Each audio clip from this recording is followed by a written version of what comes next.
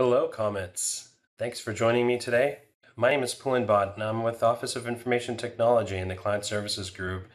And today I'm really excited to talk to you about equipment selection for hybrid meetings. We've heard the term hybrid meetings a lot, and today what we're going to explore is really how you go about figuring out what you need to make sure that you're successful in including the people that are working remote as well as the people that are in person on campus um, in different types of meetings. So when we really talk about hybrid meetings, what we're really looking for is how can we make the experience that's happening in person similar to what's happening online. And to do that, we have several applications like Microsoft Teams and hardware that we've partnered up with like the Poly Studio X50 and others that we'll be talking about today to help you along the journey. Now, hybrid meeting is not as complicated as it sounds. There's actually quite a few things you can do to enable hybrid meeting. You can have a really expensive, crazy solution in a really large conference room or auditorium. Or if you're just in front of your laptop, you can have a hybrid meeting just using the webcam, the headset, and, and your computer. So let's get started.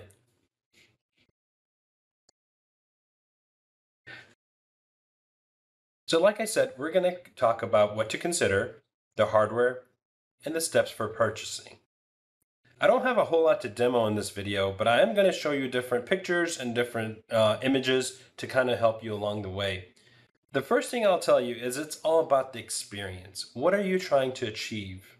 Next, it's about your conference room or your meeting space or your huddle room or whatever that space is that you want to turn into a hybrid meeting space.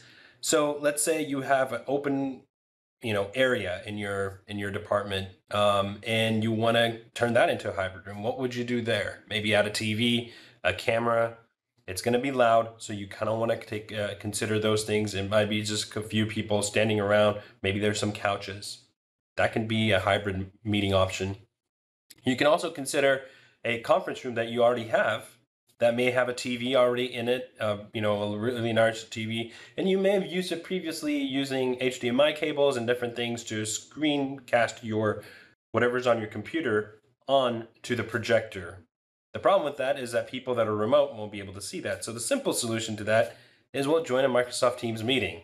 And what you can do is actually share your, share your screen with the people that are remote and still use the HDMI cable and the projector or the TV to cast to the people in the room. Now, we can take that one step further.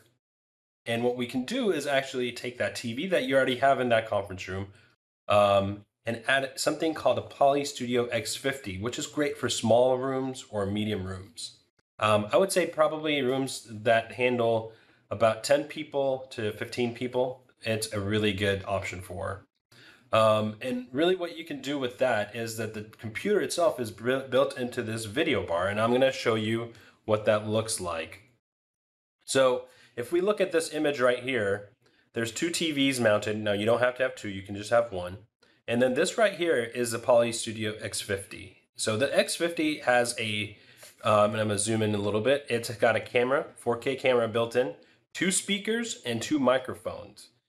And what you can do on the back end is connect that to two two monitors, up to two monitors, and one side can have all the video from the people um, remote, and on the other side you could actually have the presentation that you're sharing, like they've done in this example. But really, what we're talking about here is um, is the experience that we we were considering, right? So the experience with this is that you walk into a room and when you can you say hey i want to join my meeting so you're sitting in one of these chairs you turn open up your laptop and you join a teams meeting. And it's going to look a little bit similar to this right? This is you guys are all used to seeing this screen where it says hey do you want to turn your camera on or off? This is what happens right before a meeting.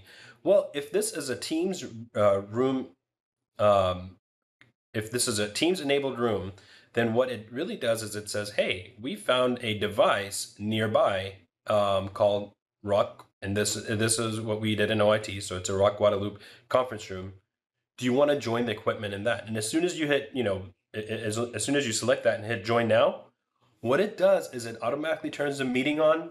It joins the meeting participants. It starts a video and the speaker phones and the audio uh, and the microphones on the X50 and there's not a whole lot for you to do as long as the monitor the t or the tv or the projector is on everything else just kind of works we've tried this tested it and it works really really well um, and the way we control it um, is and i'll kind of show you what it looks like on the tv side too so this was again the Rock Guadalupe conference room. So it's got a nice little clean little dashboard. You can do a whole lot more with this, but just as it pertains to hybrid meeting, your your conference room, uh, your conference meetings will show up over here on the side. You can make impromptu calls, but you know honestly, you don't have to do any of those as long as you from your laptop. Again, you're not touching anything, any of the device in the conference room, but from your laptop, you check that and hit join now. And as soon as you do that, it will automatically join. So going back to the example that we were taking a look at over here um, with the with these people, there's people sitting in this conference room. They're actually using what's called a touch panel to control everything. Uh, and typically in all of our conference rooms, we have the star phones. So you, we can, instead of using this, we can actually use what's already built in. The X50 can cost you, um, you know, if, if your a retail is a little bit different than um, than what we pay for edu- with education pricing. And I'm not going to uh, put the dollar amount here just because this is going to be on YouTube. But you can go to eProcurement and take a look at how much it costs. But again, this is the X50. It's a really nifty device. They are coming out with newer uh, newer versions of that. So um, as they come out, we'll be definitely giving getting you more information about that. There's other hardware equipments that we can talk about as well. These are all the conference room solutions that, that are available. Um, there's a G40 over here. This this guy right here. It's just uh, uh, the video bar itself is just called the Studio, and it's it's there's no brains behind it. There's no computer behind it. It's just like uh, it, it has a cable that kind of comes out of it that you connect to your laptop, and it's just like if you you're using like a webcam on your desktop monitor uh, and an external microphone. It works just like that, except a whole lot better in terms of quality. So there's that guy. Uh, sorry, there's, there's a studio. They're just using this in a system. There's also G85T, which has the Eagle Eye Director 2 cameras. Uh, the cool thing about those is that you can put, again, put them on top of your TV. One camera is always looking out. The other camera is tracking around and it, it moves around. So it, it, tracks kind of people as they uh, come around. So that's actually really neat, and it works. Um, uh, uh, in, in theory, I've seen it work really well. We we're still in the process of actually implementing that.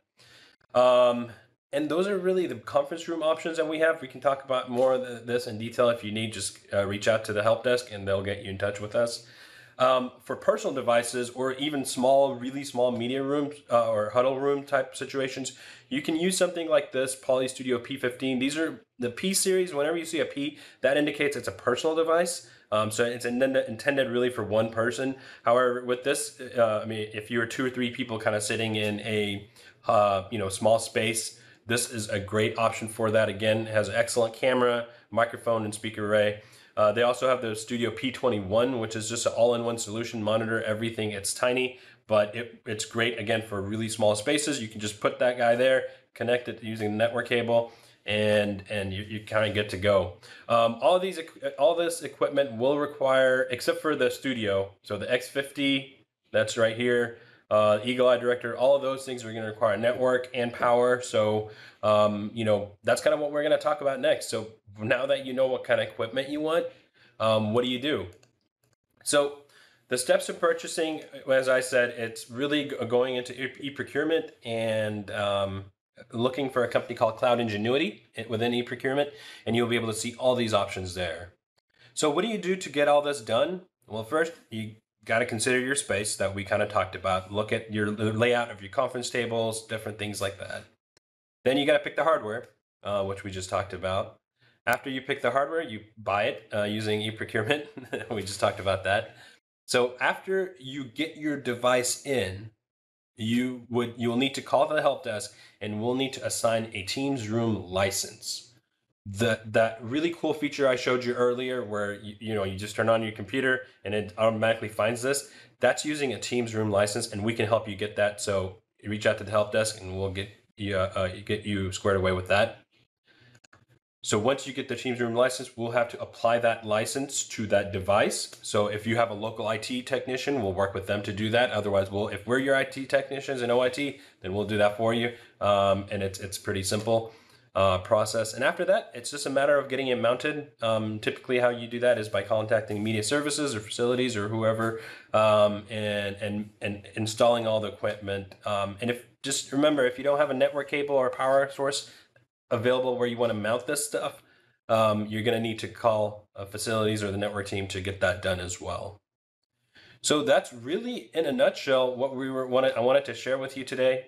Um, how I know it's fast. I know it's a lot, but um, I'm happy to walk you through it more. We have we're, we're getting more and more trained on this. Um, but remember, you can do hybrid meetings by just simply having a laptop in front of you and joining a Teams meeting. Thank you so much for joining me. We have so many other excellent videos in this series. I hope you watch them too. Take care.